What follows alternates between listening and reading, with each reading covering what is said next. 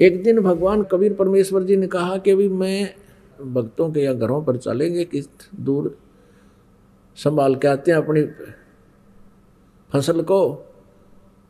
कौन कौन चलेगा? एक तो बाजीद जी और एक कमाल। कमाल कहने लगा महाराज जी, मैं तो आपके साथ अवश्य चलूँगा।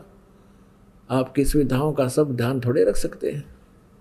परमात्मा कबीर परमेश्वर जी बोले, ठीक है बेटा, चलो। अब वो फरीद जी, ना वो वाजिद जी, जिसने राज त्याग दिया था, मुसलमान थे वह और जंगल में जाकर बैठ गए थे, वहाँ भी परमात्मा उनको मिले थे बेटा। घर त्यागणत राज त्यागने से, और जंगल में कुटी बना लेने से परमात्मा प्राप्ति, अल्लाह प्राप्ति नहीं होगी, जब तक आपकी साधना ठीक ना होगी। तब परमेश्वर ने उनको ज्ञान दिया था, उसके बाद वो मालिक के पास आ जाते थे, सच सुनते थे और फिर अपनी कुटिया में चले जाते थे। तो वो बाजिद जी और कमाल जी और परमेश्वर जी तीनों चल पड़े। उधर से सम्मन नेकी और उनका पुत्र सेऊ, जो बारह तेरह वर्ष की उम्र का था वो लड़का। वो लड़का कह रहा था अपने माता पिता से कि, माता, कभी भगवान हमारे गुरुदेव अपने घर पर भी आ जाएँगे? अब माँ कह रही थी, बेटा, उनके तो लाखों से सो गए हैं। अब किस किस के घर जाएँगे? वो तो हमारे साथ ही रहते हैं। हमारे अंग संग रहते हैं, बेटा। वो तो पल भी दूर नहीं होते। कहता कुछ लड़के कह रहे थे वहाँ हम खेलते हैं ना। कुछ कह रहे थे कि तुम्हारे गुरु तुम्हारे घर आते हैं कभी? तो मैंने उनसे यही कहा था कि हमारे गुरु जी के तो लाखों शिष्य हैं। किस किस के घर जाएँगे भैया? हमारे तो साथ ही रहते हैं। तो वो मुझे चिढ़ा रहे थे कि तुम्हारे गुरुजी तो राजाओं के घर जाते हैं, सिकंदर लोधी के घर जाते हैं, वीर सिंह बघेला, काशी के नरेश के घर जाते तुम्हारे घर कंगाल के कौन आएगा? ये गुरु लोग तो बड़े बड़े लोगों के पास ही जाते हैं। तब नेकी ने कहा, बेटा, ऐसा मन में भी मत लाना। हम अपने भगवान, अपने गुरुदेव से परिचित हैं, उनको राजा और रंग एक समान है। आप ये बात, बेटा, फिर ना दोहराना। तो फिर कहता है लड़का कि माता जी मैं ऐसा नहीं मानता हूँ, लेकिन मेरी आत्मा ये कह रही है, उनका मुँह बंद हो जाएगा। एक बार गुरु जी अपने घर आ जाए। तब उन सम्मन ने कहा, बेटा, हमने समाज को नहीं देखना। कौन क्या कह रहा है? पता नहीं, कल कोई कुछ कहेगा। इस समाज की देख करके तो श्री रामचंद्र जी ने अपना नाश कर लिया था। एक धोबी के कहते हैं सीता जी को घर से निकाल दिया। क्या समझदारी करी उन्होंने? क्या सुने समाज की? जब सीता जी को श्री रामचंद्र जी रावण की कैद से छुड़वा कर लेकर चलने लगा, तब उसके मन में यही बात आई थी कि लोग वहाँ व्यंग मारेंगे। यूँ कहेंगे दशरथ का पुत्र रामचंद्र और सीता बारह वर्ष तक उसके रावण के पास रही, उस औरत को स्वीकार करके ले आया। ये उल्टा है।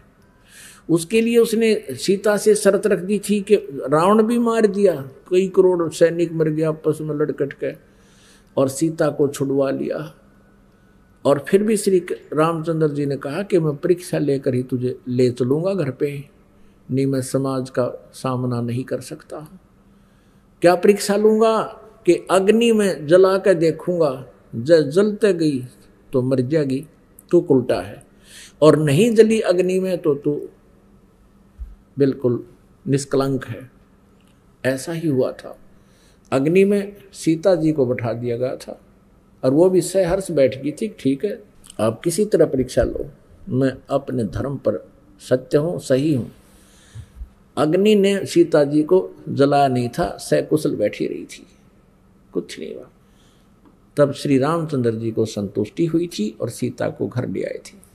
और रात को एक धोबी रात्रि के समय भेष बदल कर रामचंद्र जी घूम रहे थे अपने अयोध्या में।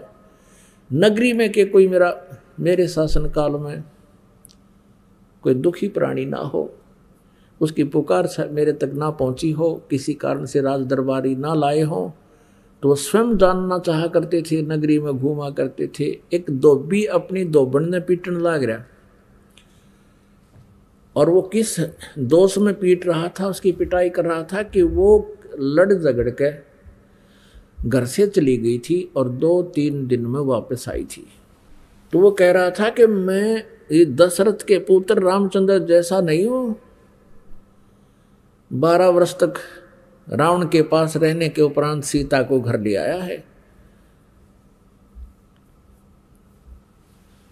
अब रामचंद्र जी वापस आ गए और सुबह अपनी पत्नी को घर से निकाल दिया, जबकि वह गर्भवती थी।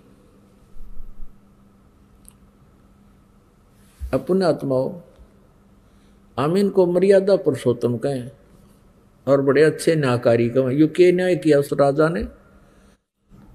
एक गर्भवती स्त्री को, और जबकि परीक्षा लेकर आया, उसने अपना कॉन्फिडेंस क्या रहा? समाज के सामने। समाज तक पता नहीं क्या क्या कहेगा कल ने? अपना विवेक कहाँ गया उनका? और हज़ारों आदमियों के सामने उसने परीक्षा ली थी, सीता जी की अग्नि में नहीं जली थी वो। और सबको पता था, सबने बता दिया था, ऐसे ऐसे माता निष्कलंक है। और फिर अपनी क्रियाओं पर विश्वास नहीं हुआ, और एक गर्भवती लड़की को, अपनी पत्नी को बाहर निकाल दिया। और कारण क्या बताया कि मैं लोगों की दंत ये व्यंग नहीं सहन कर सकता? फिर कल ना कोई किसी और के बारे में कह देगा, कोई परसों माँ के बारे में कह देगा, उनको भी निकाल देना। अरे अपना कॉन्फिडेंस हो राजा का। लोगों के कहने से क्रिया करता है तो राजा ठीक नहीं है। तो पुणात्मा घर से निकली थी सीता, और कलेजा धड़का मारा। अब कैसे उसने अपना जीवन निर्वाह किया होगा? कहाँ कहाँ गई होगी? कि ना जाने किस प्रकार के दुष्ट लोग जंगलों में रहते होंगे? कैसे परेशान करने की चेष्टा की होगी? चल, ना भी हुई हो, लेकिन एक सोचा जा सकता है। और रहम नहीं भगवान के, और उसको हम भगवान का करते सम्मन ने अपने पुत्र से ये कहा कि बेटा, समाज की नहीं सुना करते हमने अपने गुरुदेव की बातों पर विश्वास होना चाहिए, उनके प्रतिक्रिया पर विश्वास हो बेटा। इतनी कुछ चर्चा वो कर ही रहे थे आपस में। इतने में वो तीनों, परमात्मा, कबीर देव जी और दोनों उनके शिष्य बाहर एक थोड़ी सी दूरी पर एक छोटा सा छप्पर डाल रखा था, मेन गेट का उसके बीच में था उनका मेन गेट। और पीछे वो बातें कर रहे थे, उससे बीच में आँगन था और पीछे एक झोपड़ा और डाल रखा था और उसमें बैठे वो बातें कर रहे थे। आवाज़ लगाई परमेश्वर ने कि भाई कोई है घर पे? अब नेकी ने कहा कि बाहर ऐसा लगता है जैसे गुरुदेव जी बोले हों। अब समन कहने लगा कि आप चर्चा कर रहे हैं ना भगवान की, इसलिए हमें, हमारे कान बाज रहे हैं। परमात्मा यहाँ कैसे आ सकते हैं इतनी दूर? तो थोड़ी देर में फिर आवाज़ लगाई कि अभी सम्मन है क्या घर पे? अब फिर तो उनकी तीनों की एकदम उधर ही नज़र गई, सामने देखा। देखा परमात्मा गेट के बाहर खड़े हैं। तीनों भाग गए नंगे पैरों। और यूँ खड़े होकर तीनों मुँह की तरफ़ देख रहे हैं कि हम सौपन तो नहीं देख रहे हैं। सचमुच परमात्मा यहाँ आगे हैं क्या? आँखें मल रही हैं, आँखों में आँसू आने लगी है।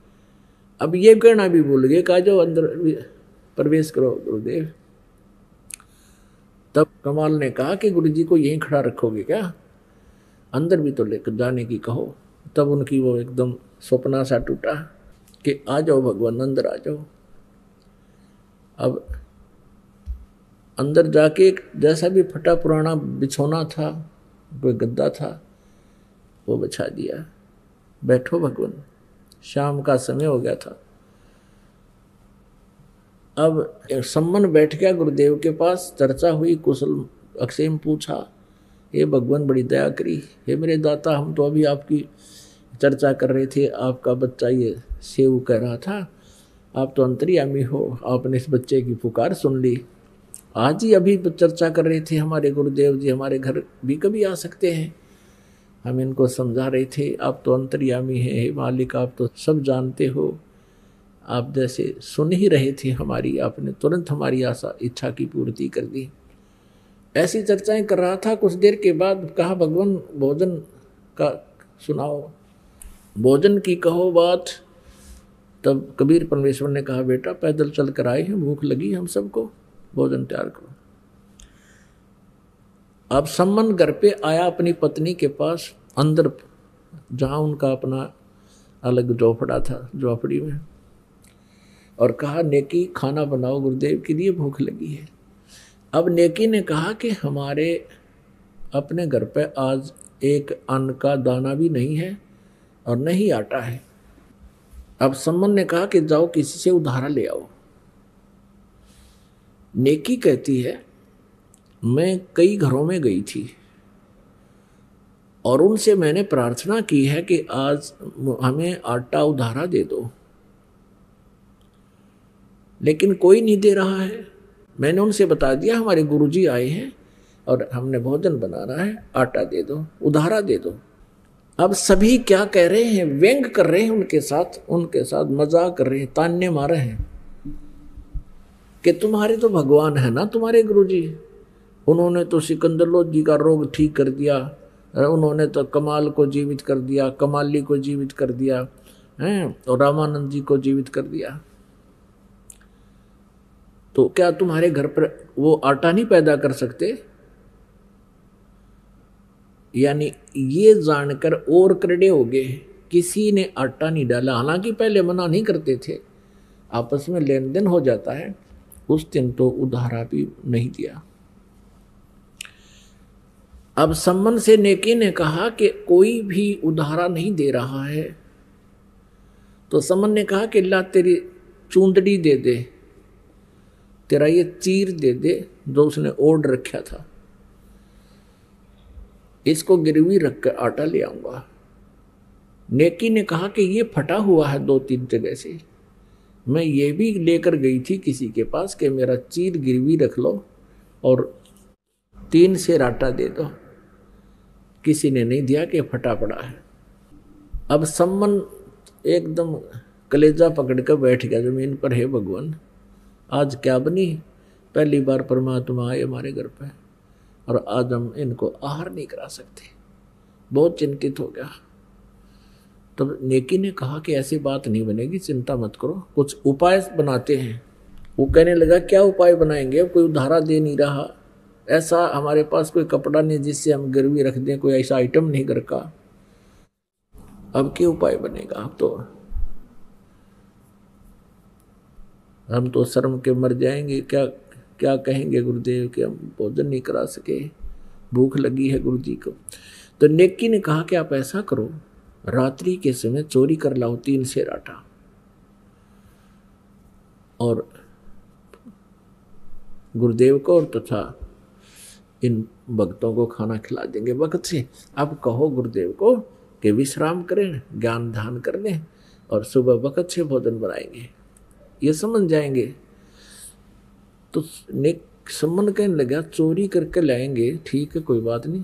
तो लड़का सुन रहा था सेव वो कहने लगा माता जी गुरु जी भी बताते हैं और आप भी कहा करते हो कि चोरी करना महापाप होता है। और आज हम चोरी करेंगे? हमारा तो भक्ति का नाश हो जाएगा। चोरी महापाप होती है। तब नेकी ने कहा, बेटा, चोरी को दान कर देंगे हम। वो पाप नहीं, कल्याण का कारण होगा। तो सेव ने कहा, माई माता, चोरी तो चोरी ही होती है। दान कर दे चाहे ना कर दे, चोरी तो चोरी ही कहलाता है। चोर के मन में जब दोष आता है, तभी तो चोरी करता है। तब नेकी ने कहा, बेटा? बात सुन ले। इस नगरी के लोगों के पास धन बहुत है, और ये माया इस जीव की दुश्मन होती है। आज इनके माया का नशा बन गया, बेटा, और इस नगरी से यदि कबीर परमेश्वर अपने गुरुदेव भूखे चले जाएँगे, इस नगरी का नाश हो जाएगा, बेटा। ये पूरा नगर खत्म हो जाएगा, ये सतकर मान लेना यदि तूने इन इस नगरी को, क्योंकि हमने इसमें अपना जीवन निर्वाह किया है, इनको बचाना है तो बेटा चोरी कर लाओ। तो सेव कहने गया ठीक माता। फिर कथा सुनाई। माता ने कथा सुनाई कि एक एक नगर में ऐसे ही माया के ये पुजारी रहा करते थे। ये माया के धनवंत रहते थे। एक सिद्ध पुरुष और उसका शिष आकर के नगरी से बाहर जंगल में, बनी में बैठ गया। अब वो इतने अभिमानी हो गए थे, पैसे वाले व्यक्ति किसी को दान दक्षिणा भी देनी बंद कर दी थी उन्होंने। अब उस सिद्ध पुरुष ने उस लड़के को भेजा अपने को कि जा बेटा, भिक्षा मांग ला। नगरी में वो लड़का, युवा लड़का था, पंद्रह सोलह साल का जा अठारह उन्नीस वर्ष का होगा। अपनी झोली लेकर के पहुँचा नगर के तकरीबन सभी घरों में। उसने अलख जगाई, आटा दो माई आटा दो माई तो सभी ने उनको धमका दिया कि, मस्टंडो, तुम अपना काम करके क्यों नहीं खाते? मजदूरी कर लो कहीं पर। मांगने आ जाते हैं यहाँ पर, शर्म नहीं आती है। लड़का वापस चला गया और कहा, गुरुदेव, किसी ने भी आटा नहीं दिया। और बहुत कुछ बातें बनाते हैं। अब वो सिद्ध पुरुष था। उसने कहा कि जा एक बार फिर जा बेटा। वो दोबारा फिर गया। ऐसे ही वो खाली आ रहा था। जब वो वापस आ रहा था, उसी नगर के बाहर की तरफ़ एक कुम्हार का घर था। और उस कुम्हारी ने वो पहले दिन भी जाता देखा, खाली आता देखा। विधवा थी, उसका पति मर चुका था। दो चार बच्चे थे उसके। उसने अगले दिन भी देखा कि ये नहीं डालेंगे इनको, कुछ इन्होंने देना ही नहीं है, नगर वालों ने, इनको तो माया का विमान है। तो उस कुम्हारी ने पूछा उस शिष्य से, उस साधु बालक से कि बेटा, महाराज, आटा नहीं मिला, अक नहीं माई, किसी ने नहीं डाला। तो उसने कहा, भाई, देख, कल भी देख, तेरे को देखा मैंने और बेटा मुझे अपने पुत्रों की तरह तेरे में ममता बन गई है कि मेरा बेटा अगर ऐसे भूखा रह जाए, दो दिन से क्या बीतेगी उसके ऊपर? भाई, मैं कुमारी हूँ, जात से कुमारी हूँ और तो ये रोटी ले जा बनी बनाई। और अपने गुरुजी से बता देना, बेटा, बाद में खाना, कहीं वो फिर मुझे शराप ना दे दे। भाई, कई महात्मा ऐसे होते हैं जो अन्य जाति वालों का नहीं खाते ब्राह्मण बणियों का ही खाते हैं या क्षत्रियों का खाते हैं। उसने ऐसा ही किया, ठीक है, माई दे दो। अब उसने जाते अपने गुरुदेव से कहा कि गुरुदेव, पूरी नगरी में घूमा किसी ने आटा नहीं दिया उल्ट सुलट बातें बना रहे हैं, बहुत भली बुरी कह रहे हैं आपके बारे में, मेरे बारे में।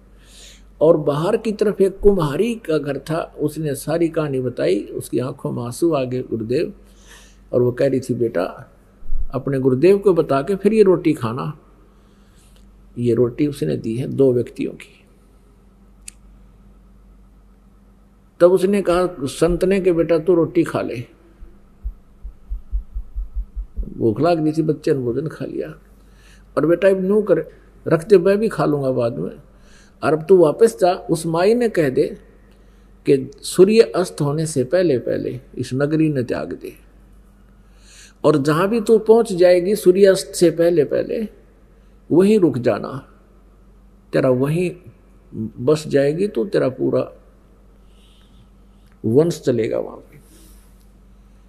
और उसको बता देना, किसी से कहे नहीं ये बात जो हम बताने जा रहे हैं। रात्रि के समय ये नगर नहीं रहेगा, ये सारा खत्म होगा। अब लड़का वापस आया। उसने सोचा, माई थी नौकूँगा तो घर छोड़ दे। तो यह भी नो कि अच्छी आप तो मोल ली रोटी खुआ कर, मेरा घर छूट गया। तो उसने सारी कहानी बताई कि माई, हमारे गुरुजी बहुत पहुँचे हुए महापुरुष हैं और इस नगरी से बहुत दुखी हो गए हैं कि इनमें इतना विमान हो गया, ये राक्षस टाइप हो गए हैं, भगवान से भी नहीं डरते और अतिथि को तो वैसे भी आहार करा दिया करते हैं और ये इतनी बकवास कर रहे हैं। आज ये नगर माई रात ने खत्म हो जाएगा और अब दिन के बारह बजे हैं।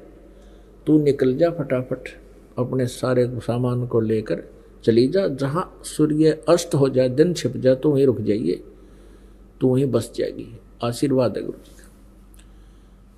अब उस समय उसको पता होता था कि सचमुच साधु ने जो वचन काट दिया, वो टड़ा नहीं का। उसने तो उसी समय अपने बच्चों के साथ अपने गद्या पर सामान लाद दिया और चल पड़ी। सूर्यास्त जहाँ हुआ वहाँ रुकेगी। तो रात्रि के समय वो पूरा नगर उस संत ने नष्ट कर दिया। कि इसे राक्षसों को तो एक का दिन खत्म कर दिया जाए तो अच्छा है। तो पूरा नगर खत्म हो गया। कहते वहाँ से फिर वो माई दूर जाकर बस गई फिर वहाँ लोग इकट्ठे हो गए। अभी कैसे का, उन्होंने सारी कहानी बता दी कैसे तो वहाँ लोगों ने इकट्ठा होकर उसको ज़मीन भी दे दी, उसके निर्वाह के लिए पैसे भी दे दिए, उस माई के ठाठम ठाठ कर दिए। और उनका नाश कर दिया। तो धर्म तो दसके नहीं, दसके तीनों लोग, खैर आए तुम्हें खैर है कीजिए आत्म भोग अब यह कथा सुनाई उस नेक्की ने अपने पुत्र से उतर कि, बेटा, इस नगरी का न्यू नाश हो जाएगा इसको बचाना है, और परमात्मा को इन्हीं का अन्न खवाना पड़ेगा। नहीं तो बात बिगड़ गई कति। ये तो अभिमानी हो रही, आसमान में चढ़ रहे हैं आजकल सातवें आसमान पर घूम रहे हैं इनके दिमाग। और माया जीव का नाश होती है, बेटा। तो शेव ने कहा, माता, फिर हम चोरी करेंगे. रात ने पिता पुत्र दोनों चोरी करने चल पड़े। एक सेठ की दुकान में, घर में सुराख बना लिया। और सम्मन ने कहा, बेटा, तू बाहर रहना शेव से, और मैं अंदर से कुछ आटा चुरा के लाऊँगा। केवल तीन शेर, ज़्यादा नहीं चुराएँगे कुछ भी नहीं लेंगे और। अब सेव ने कहा, पिताजी, आप इस लाला जी की पहुँच यहाँ के राजा तक है और आप पकड़े गए तो पिताजी आपको सूली तोड़ देंगे ये लोग। और मैं बालक हूँ, मैं पकड़ा भी गया तो मुझे बख्श देंगे। तब उस सम्मन ने कहा, नहीं बेटा अगर तेरे को फांसी दे दिया तो हम किस कारण जिएँगे? तब सेव नहीं माना कि नहीं पिताजी, मैं बालक हूँ, मुझे मेरी क्षमा हो सकती है। ऐसे कहते कहते उस सुराख के अंदर से, सेंध के अंदर से पाड़ ला रखी थी, नो समझ लो, उसके अंदर से सेव घुस गया पणिया की दुकान में। सम्मन ने कहा, बेटा, तीन शेर से ज़्यादा नहीं लाना। अंदाज़ा सा, तीन शेर ले आना, तीन किलो। अब सेव ने अंधेरे में आटा ढूंढा, अंदाज़ा सा अपना डाल के तीन बुक और चालन की तैयारी करी। इतने में खुड़का हो गया, आवाज़ होगी ज़ोर की, एक तराजू पर पैर टिक गया। वो एकदम बहुत ज़ोर का आवाज़ आई हुई तो बनिया वहीं सो रहा था, वो जाग गया लाला जी और पकड़ के उसको दीपक जलाया, फिर पहचान लिया अच्छा तू तो सम्मन का है, सम्मन का। अरे भगतो चोरी करने लग गए पकड़ लिया। तो सेव कहने लगा लाला जी शोर ना करे। तीन शेर आटा लिया है, हमारे घर गुरु जी आ रहे हैं, उनके लिए भोजन करवाना था। तो लाला जी कहने लगे अच्छा अच्छा अरे चोरी तो वो करवा रहा तुम्हारा गुरु। वो चोरी करवाने आता है यहाँ पर। ठीक है, आज राजा से पेश होकर कहेंगे, ये आता है चोरी कराता है। ये तो अच्छे आदमी थे, चोरी करते ही नहीं थे। अब सम्मन भी सुना इस आवाज़ ने सेव भी सुन गया। उन्होंने सोचा, भाई, जुल्म हो गया। गुरुदेव को आहार तक करा नहीं सके। अब ये सुबह गुरुदेव की बेजती करेंगे, ये लोग राजा के पास पेश करेंगे। और ना जाने के सजा दिवाएँगे। जब लाला जी ने उसको पकड़ना चाहा सेव को, उसने कपड़े में बाँध रखा था और तीन सिर आटा उस सुराख में से बाहर फेंक दिया। और कहा, पिताजी, मैं तो पकड़ लिया लाला जी ने। और आप ले जाओ इसको, गुरुदेव को भोजन करा के शीघ्र रवाना कर देना। अब सम्मन लेकर के उस आटे को घर पे आ गया। नेकी ने पूछा, पुत्र कहाँ है? सारी कहानी बताई कि लाला जी ने पकड़ लिया और हो सकता है कल वो गुरुदेव को भी पकड़ के राजा के पास पेश करेंगे। और कह रहा था वो लाला जी कि चोरी तो इनके गुरु कराते हैं, ये तो ठीक आदमी थे, कभी चोरी करते नहीं थे, अपना मेहनत करके खाते थे। और कल राजा के पास जाकर के उसको इनके गुरु को सिख, सबक सिखाएँगे। नेकी कहने लगी, तू वापस जाओ। और लड़के का सिर काट लिया। किसी तरह बका बकू का एक बाहर गर्दन निकाल ले और चाहे इतने अंदर घुस के काटना पड़ो, उस बच्चे का सिर काट लिया नहीं तो बात बिगड़ जाएगी, कल बच्चे को पहचान लेंगे। और सारी बात बिगड़ेगी। अब सम्मन लेकर हाथ में करद, इतनी लंबा चक्कू, और पहुँच गया। उधर से शिव के मन में भी यही प्रेरणा थी, है भगवान, मेरा पिताजी मेरा सिर काट ले जा किसी तरह। और लाला जी फिर डर जाएगा, कहीं ज़िक्र नहीं करेगा, कहीं नहीं बताएगा अब सम्मन जब आया, सम्मन ने कहा कि बेटा सेऊ दो बात ज़रूरी करनी है। एक आवश्यक बातें करनी है, एक बार तू सिर निकाल ले इस सुराख से बाहर। फिर तो हम नहीं मिल पाओगे बेटा तुझे पकड़ा देंगे ये पुलिस को, फिर पिता पुत्र को मिलने नहीं देंगे ये लोग। दो बात तेरे कान में बताऊँगा। उधर से सेव ने कहा, लाला जी, मेरा पिताजी आया हुआ बाहर कोई ज़रूरी काम बताना चाहता है? एक बार मुझे छोड़ दो। सेठ बोला, तू भाग जाएगा। ऐसे कैसे छोड़ दो? तू भाग जाएगा? उसने कहा, नहीं भागूँगा मैं, आखिर नहीं, कोई विश्वास नहीं। अब सेव ने कहा कि आप मेरे पैर का रस्सा बाँध दो। इतना लूज कर दो, इतना ढीला छोड़ दो कि मैं केवल गर्दन बाहर निकाल लूँ। बिल्कुल फ्री ना करो। अब लाला जी ने सोचा, भाई, के हो गया तीन शेर चूने तो ले गए हैं बेचारे। ढीला बाँध दिया, रस्सा थाम के बाँध रखा था और कर दिया ढीला, ले, बतला ले। उनने सिर बाहर निकाला। जब बाहर सिर निकाल लिया तो सेव बाट इंतज़ार कर रहा है कि पिताजी कोई बात कहे। लेकिन बाप था, हाथ पीछे का पीछे रहेगा वो कर्ज छुपा रखी थी, तलवार छुपा रखी थी। तब उस लड़के ने कहा, बारह तेरह वर्ष के बच्चे ने कि पिताजी, मेरी गर्दन काट ले जाओ। यदि आप मेरे बाप हो तो मेरी गर्दन काट ले जाओ। इतना कहते ही संबंध में भी करंट सा आ गया और बेटे की गर्दन काट के शीश न ठा ले गया। नेकी बोली, इसको ताक में रख दे, यानी अलमारी के एक हिस्से में। और फिर कहा कि अब तू फिर वापस जा। नेकी बोली, तू वापस जा। लाला जी उस बच्चे के शरीर को अपने घर नहीं रखेगा कि तो बाहर फेंक होगा। वो इस डर से कि कहीं तेरे ऊपर कत्ल का केस ना लगा देंगे अब लाला जी ने देखा कि तो लड़के की हत्या होगी। तेरा नाम मंडा जाएगा तू मर गया।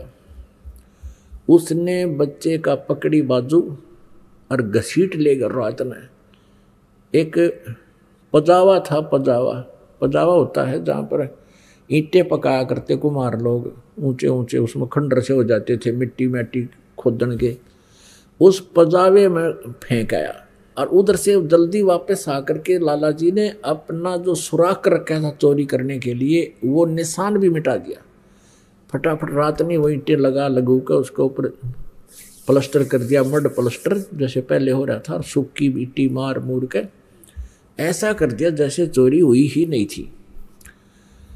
अब संबंध जब वहाँ पहुँचा, वापस देखा, लड़के के जो घसीट कर ले गया था सबको वो चिन्ह उन निशानों के साथ साथ जहाँ भी वो लड़का का धड़ पड़ा था, उठा लिया और अपने घर पर कमरे में रख दिया।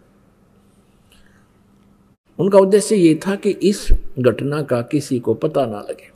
और कहीं हमारे पिताजी की बेजती ना हो जाए, हमारे गुरुजी की बेजती ना हो जाए। अपने आत्माओं इकलौता पुत्र, वो मरा पड़ा है और माँ रोटी पोर लग रही है। गुरुदेव के लिए, अपने भक्तों के लिए, अतिथि के लिए भोजन बना रही है। और सम्मन ने कहा था, रोइए मत ना। रोगे तो गुरु जी को पता लग जाएगा, फिर वो भोजन नहीं खाएँगे, भूखे हैं कल के। तो नेकी भी कहने लगी, मैं बिल्कुल नहीं रोऊँगी। गुरु जी फिर भोजन नहीं करेंगे, मुझे भी पता है। रोटी बना दी, यानी भोजन तैयार कर दिया और तीन पात्रों में डाल दिया। और कहा, महाराज जी, भोजन पालो यानी बहुत से उठा दिए। खा पी कर चले जाएँगे, बाद में कदे कहीं इनको पता लग जाए। वक़्त से भोजन बना दिया। परमात्मा, कबीर देव जी साथ में वो दोनों भक्त आकर बैठ गए लाइन में, पंक्ति में। तीन पात्रों में भोजन डाल रखा था। तब परमेश्वर ने कहा, बेटा, इनको छह पात्रों में कर दो। तीन तुम हो, तीन हम हैं। आज इकट्ठा ही बैठकर खाएँगे। अब फंस की बात सम्मन कहता नहीं, गुरुदेव, आप खाओ, हम तो बाद में खा लेंगे। आपको भूख लगी है, कल के भूखे हो। परमात्मा बोले भाई नहीं, जो मैं कहूँ ऐसे करो। उन्होंने पाँच पात्रों में डाल दिया। गुरुदेव ने कहा नहीं में डालो इनको। वो सारा भोजन को डिवाइड कर लिया। वो तो उतना ही था, सारा ही बना बनाया। छह पात्रों में डाल दिया और उन्होंने सोची, ई पूछेंगे सेव कहाँ है और झूठ बोलेंगे तो मर गए। बोलेंगे तो रोटी खानी। बहुत चिंतित हो गए, बहुत चिंतित हो गए। अरे ये तो टेंशन फ्री परमात्मा है, टेंशन फ्री करने वाले उनसे नहीं पूछा मालिक ने, कहा कि आओ सेव जी मिलो, ये प्रसाद प्रेम और सिर कटते हैं चोरों के, साधों के नित सेम। कहते हैं सेऊ धड़ पे शीश चढ़ा। और आ बैठा पंगत माही, और नहीं निशानी गर्दन कहू ओ सेऊ अकनाही। बोलो, सतगुरुदेव, बंदी छोड़ कबीर परमेश्वर जी की जय।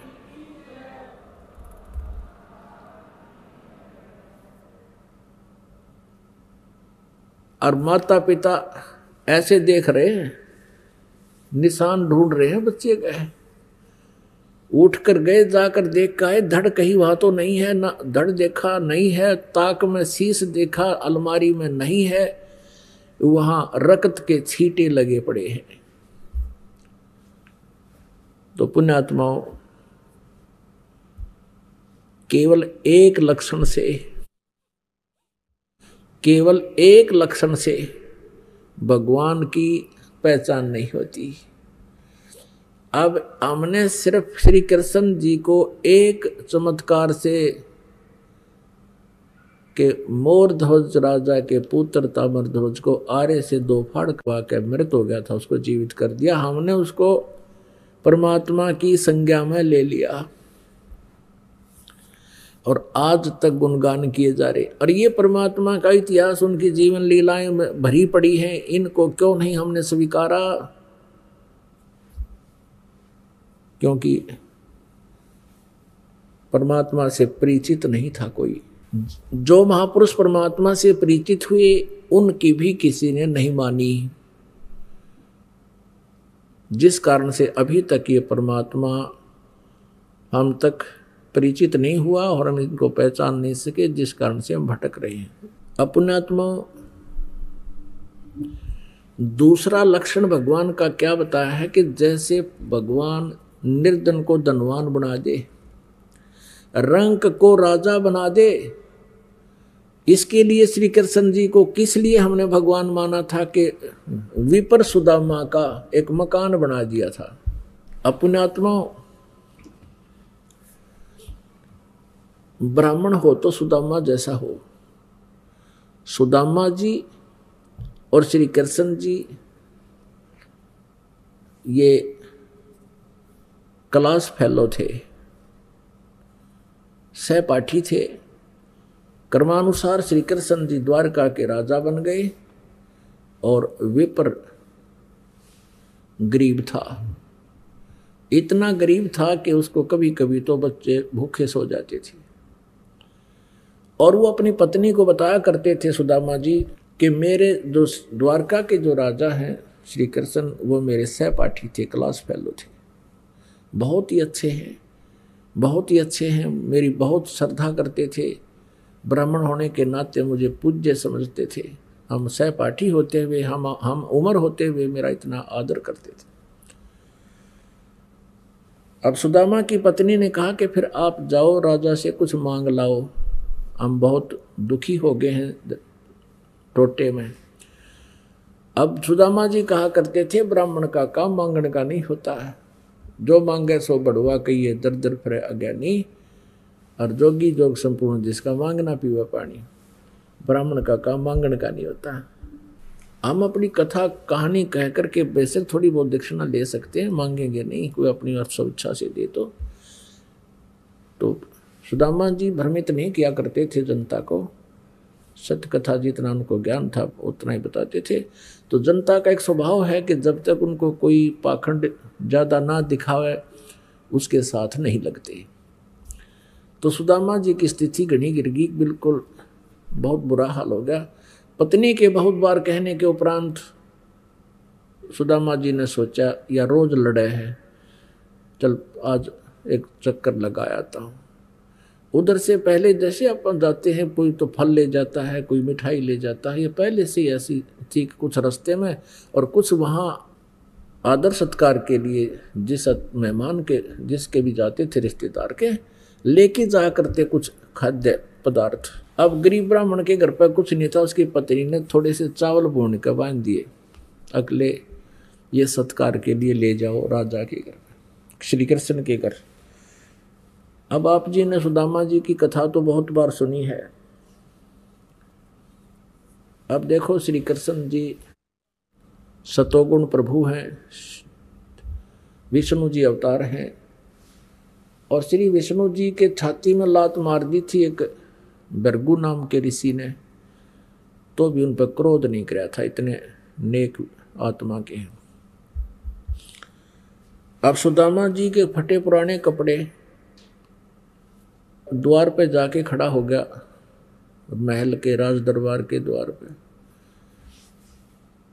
उनको कहा कि जाओ भाई, कहो, श्री कृष्ण जी के आपका मित्र सुदामा आया है। श्री कृष्ण जी को पता चला, तभी नंगे पैरों भागा आया, अपने सहपाठी को लेकर साथ गया अंदर महल में।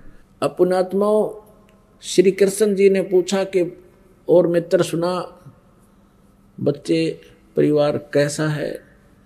तो सुदामा जी ने कहा, भगवान, आपकी रजा से सकुशल है।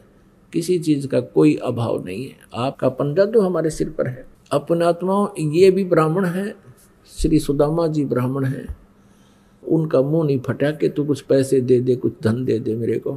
कहा कि आपकी दया से ठीक है, सब मौज हो रही है, कोई अभाव नहीं किसी वस्तु का। अब श्री कृष्ण जी को पता लग गया, उसकी सतीथी को देखकर फटे पुराने कपड़े।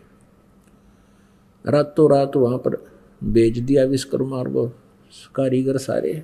सुदामा जी का एक सुंदर मकाल महल बना दिया। द्राविड़ देश में। और उधर से एक हफ़्ता दस दिन सुदामा जी को अपने पास रख लिया, घर जाने दिया नहीं।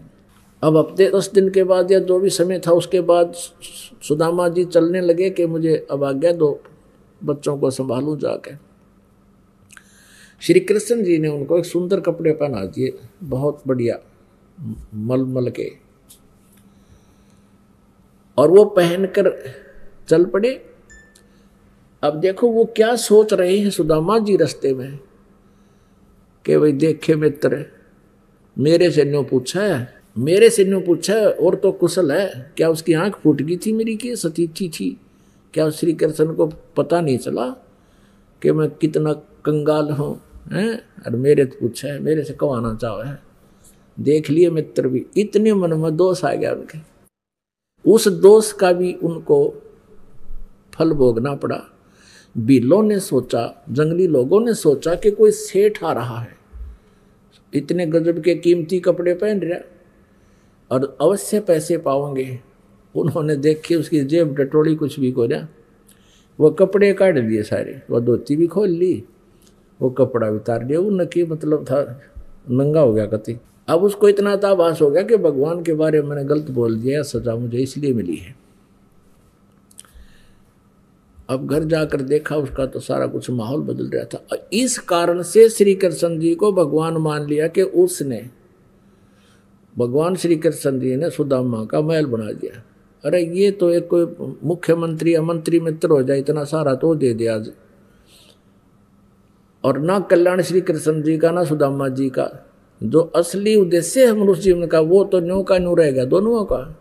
अब सुनाते हैं आपको उस परम पिता परमात्मा की समर्थता कबीर भगवान की। एक तैमूरलिंग नाम का लोहार था। मुसलमान लोहार था तैमूर लंग नाम का। इतना गरीब था वो अन्य साहूकार सेठ पैसे वाले व्यक्तियों की भेड़ बकरियाँ चराया करता था। और वो उनको वर्ष में छः महीने में कुछ कणक दे देते थे। पहले ऐसा ही होता था। कपड़े दे देते, कुछ या गेहूँ, आटा, बाजरा, जो भी वो दे देते थे। और केवल वो दो माँ बेटा थे। पिता की मृत्यु हो चुकी थी। उधर से वो, उससे भी गुजारा नहीं होता था उनका। तो एक लोहार के अहरण पे वो ओवर टाइम करा करता, सामने आकर उसका चोट मारा करता, जैसे कोई चमटे पलटे बनाया करते या फाली फूली ठीक बनाया करते थे। ऐसे गुजारा हो रहा था। अब तैमुरलंग की माता बड़ी धार्मिक प्रवृत्ति की औरत थी कोई भी साधु संत या अतिथि आ जाता था उनके द्वार पे आप भूखे सो जाते थे, लेकिन अतिथि को आहार कराते थे। कई बार तो ऐसी स्थिति आई है कि अपना आहार अतिथि को खिलाकर वो माँ बेटा भूखे सो जाते थे। अब परमात्मा, कबीर परमेश्वर जी एक ज़िंदा महात्मा के रूप में आए और तैमुरलंग बकरियाँ चला रहा था, भेड़ बकरियाँ चला रहा था साहूकारों की। और वो बकरियाँ आसपास चल रही थी, वो बैठा था वृक्ष के नीचे, भोजन खा लिया था उसने। तब परमेश्वर आए, सलाम वालेकुम कहा,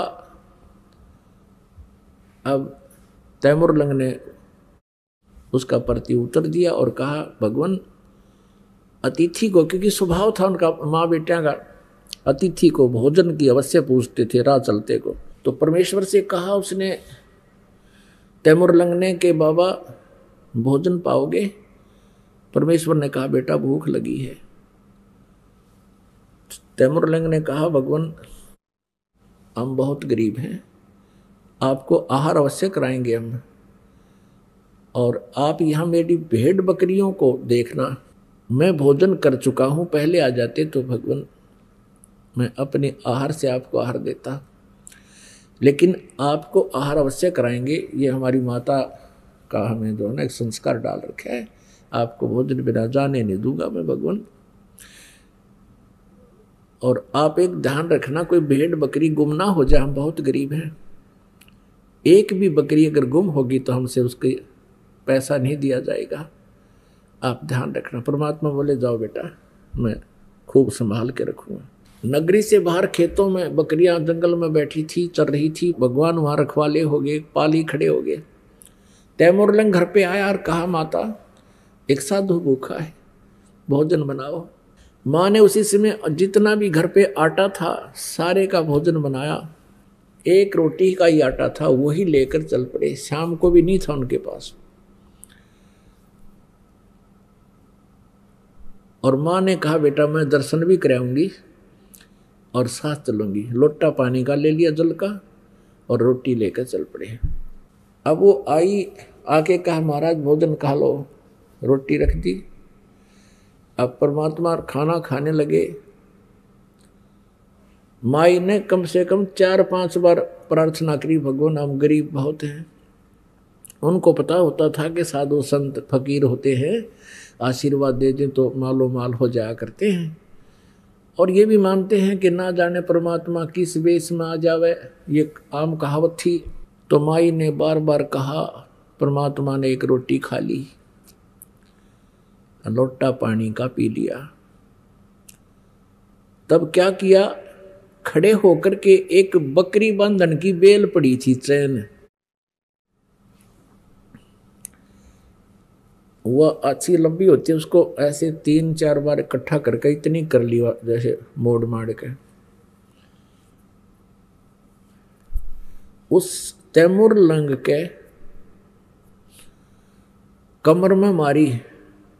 एक, दो, तीन, सात मारी उसके कमर में, और फिर लात मारी, मुक्के मारे। अब माई ने सोचा, यू बाबा जी चंगर गया।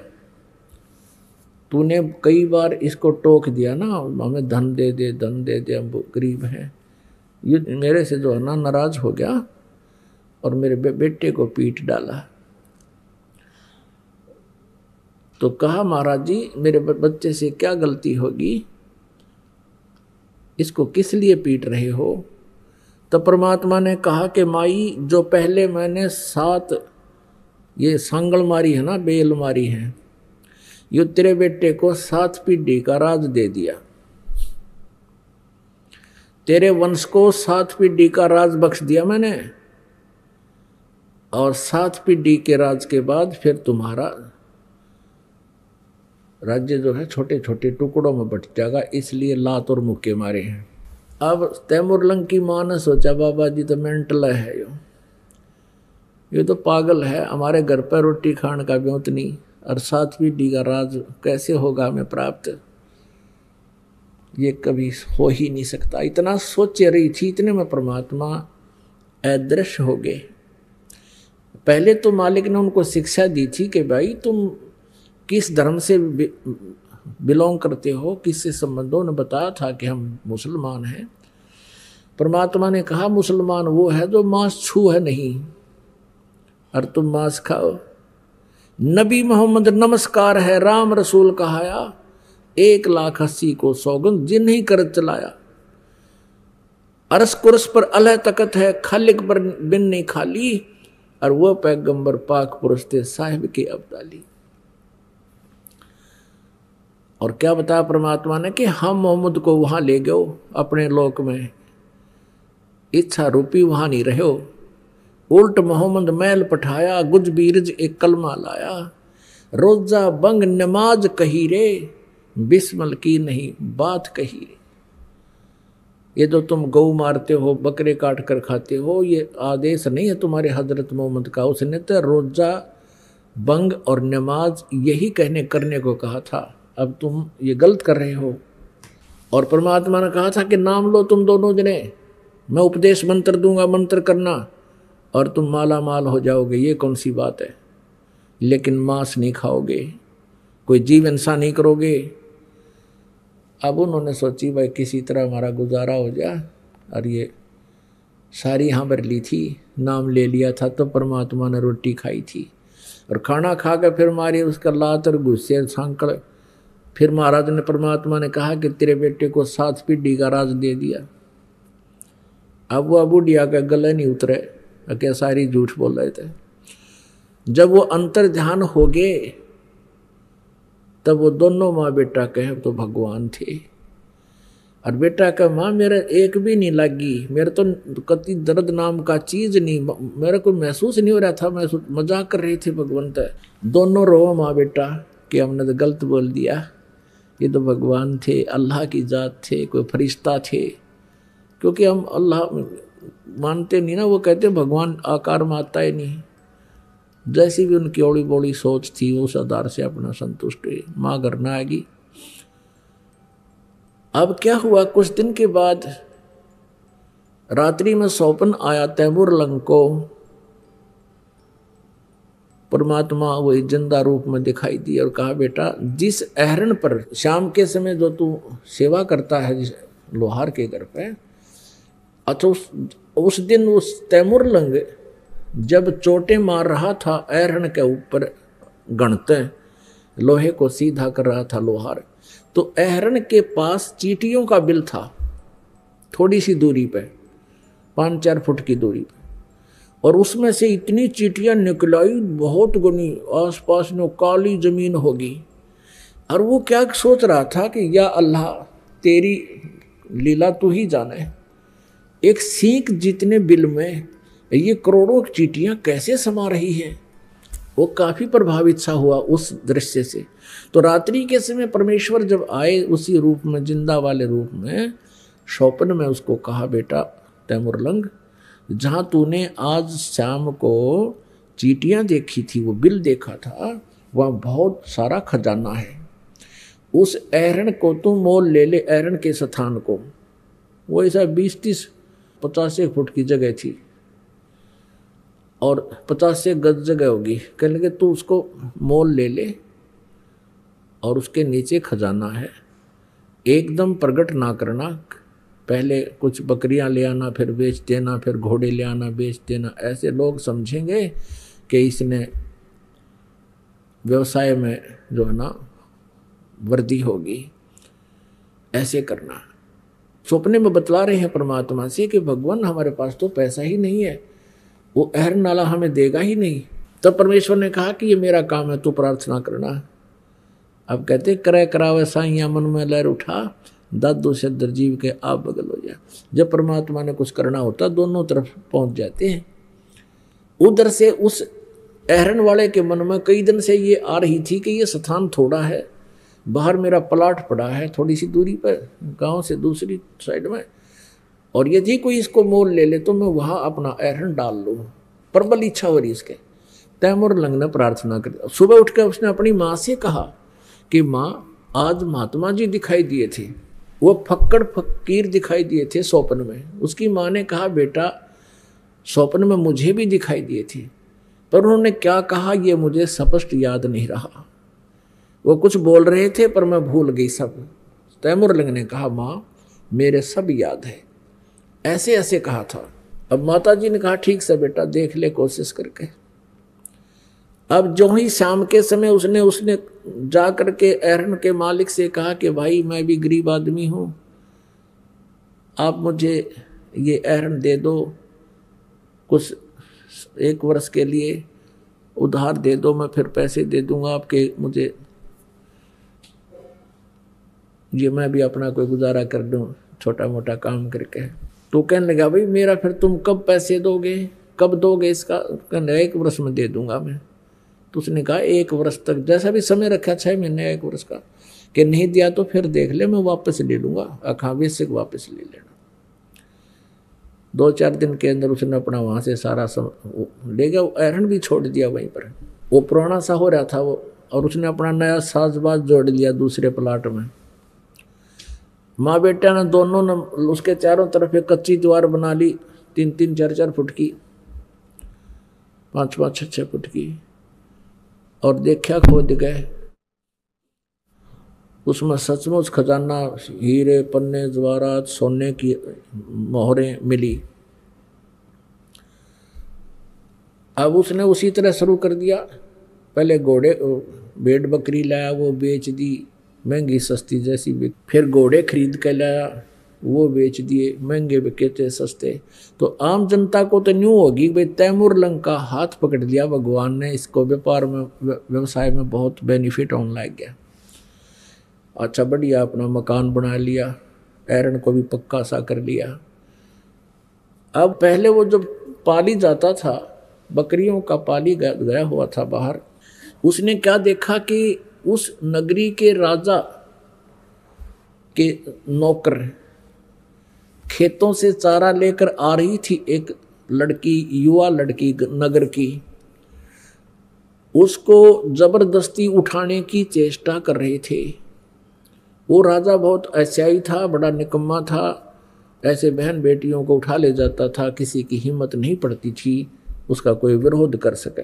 अब उस लड़की ने आवाज़ लगाई, रे तैमुरलंग मेरी रक्षा करना भाई, मेरी रक्षा करना। अब तैमुरलंग ने देखा भी कौन छेड़ रहा किसी बेटी को। अब ये सूरवीर होते हैं जो, वो नहीं रुक सकते किसी पर, अत्याचार देख नहीं सकते। अब पाड़ी दौड़े तो लठ हो से एक, उसके पास तो लठ था उठा लिया और भाग लिया ताबड़ तोड़। और वो पाँच छह जने थे, राजा के सैनिक। वो उठा करके उसको घोड़े पर डालने लग रहे थे। उसने जाते उनका मट्टा मट लठ मारे, सारे का कट्टा कट मारे। फिर उन्होंने वो कई जने थे, वो अकेला था, वो पीट दिया बहुत ज़्यादा, यानी मरत करके डाल दिया अग मार दिया इसको। लड़की को ले गए थे वह जिसमें वो होश में आया, उसको पता चला कि जुल्म हो गया भाई। तो उसके मन में ये आया कि मैं, हे भगवान, हे अल्लाह, मैं राजा बनूं और इस राजा को सबक सिखाऊं। उसके बाद ज़बरदस्त खटक लग गई थी, चसक लगी अंदर, कसक। लेकिन गरीब आदमी तो कुछ भी सोचता रहे, कैसे पार पड़े थी। पर जब उसके पास ये धन हो गया, उसका फेरवा अंगड़ाई टूटी, क्यों आशीर्वाद परमात्मा का? उसके वही एक टारगेट फिट हो गया कि मैं इस राजा के राज्य को प्राप्त करूँगा उसने जंगल में, बहुत गहरे जंगल में जाके एक एरन डाल लिया। और एरन ले गया पाड़ का अपना करते हैं। और उधर से गाँव के, नगर के युवा बच्चों से कहा कि भी ऐसे ऐसे देखो, ये राजा जो है, बड़ा निकम्मा है। अपने गाँव की आसपास के इलाके की बहन बेटियों की इज़्ज़त लूटता है। इसने कूटांगे। सारे हो लिए, चार ठीक सब भाई। अब बालक हो है? युवा बालक, यंग ब्लड। उसने उनको समझा दिया, भाई, इसके लिए तलवार बनावांगे और सेना बनावांगे और सबको एक एक रुपया महीने का दिया करूँगा तुम्हारे को। अपने रिश्तेदारों को और सबको बुला लो जवान जवान बच्चों को और बताओ नहीं किसी को।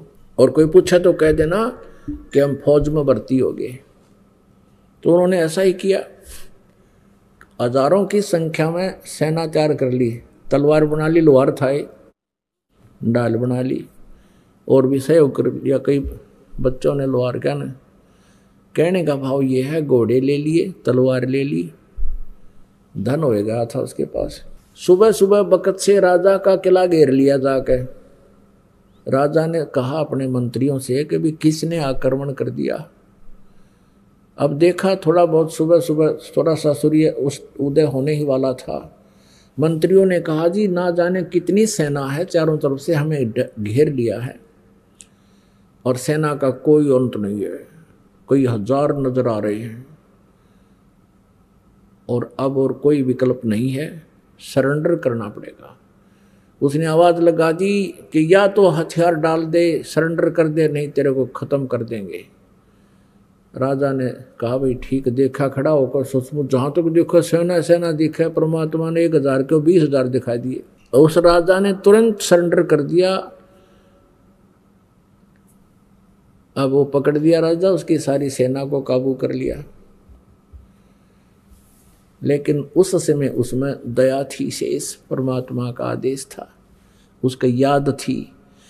उस राजा को उसने मारा नहीं और कहा, तू जा, चला जा, कि और अपना कर कर रोटी खा ले। वो छोड़ दिया। मारा नहीं, लेकिन उसके शासन राज्य पर कब्जा कर लिया। इसी प्रकार फिर दूसरे राजा को कह दिया संदेशा भिजवा दिया कि या तो सरेंडर कर ले और न युद्ध के लिए तैयार हो जा। उनको पता लग गया भाई जब ईसा, पहले वाला जो राजा था, वो बहुत शक्तिशाली था उन औरों की दृष्टि में। जब उसी ने सरेंडर कर लिया तो सभी ने कहा कि हम युद्ध नहीं करते, आप हमारा राज्य प्राप्त कर लो। तो उसने उसका भी राज्य प्राप्त कर लिया। करने का भाव ये है, तैमुर लंग दिल्ली पहुँच गया। तैमूर लंग वहाँ से सेना लेकर के दिल्ली तक आ गया। दिल्ली के राजा को भगाकर उसको पराजित करके वहाँ अपना एक नौकर, जैसे वायसराय छोड़ देते थे पहले, ऐसे एक जो है सबॉर्डिनेट बैठा दिया वहाँ पर, उसको राज्य दे दिया वहाँ का, कि तू एक साल में मुझे इतना इतना इसका टैक्स देगा। और वो अंतर्गत रहा, अधीन था उसी के तैमुरलंग अपनात्माओं तैमुरलंग से लेकर औरंगज़ेब तक सात पीढ़ी, यानी सात पीढ़ी ने राज्य किया। औरंगज़ेब के बाद दिल्ली का जो राज्य था, वो छोटे छोटे टुकड़ों में बट गया था। परमात्मा ने एक रोटी खा के तैमूर लंग को सात पीढ़ी का राज दे दिया। अब यूँ तैमूर लंग बकवादा में पड़ गया, भगवान भूल गया घड़ी माया होगी थी, फिर परमात्मा मिले, इसको एक दिन शिकार में गया हुआ था ये, और इसको एक चमत्कार किया इसके साथ, और इससे पूछा कि तू दो कौडी का आदमी, राज भूल गया भगवान को? उसके बाद तैमूर लंग परमात्मा से अक्षमा याचना की, नए सिरे से उपदेश लिया, फिर अपनी भक्ति अधिकारी बना, और अब कहते हैं, जब देखो परमेश्वर कबीर देव जी ने एक रोटी रोटी तैमर लंकुंदी नी ताते सात बादशाही नी एक रोटी खाकर सात पीढ़ी का राज दे दिया। और श्री कृष्ण जी ने एक मुट्ठी चावल खाकर केवल एक मकान बनाया था सुदामा जी का।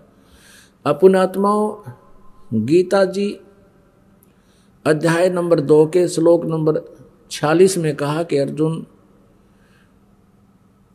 जिस समय तुझे पूर्ण परमात्मा, समर्थ भगवान की जानकारी हो जाएगी, उससे परिचित हो जाएगा।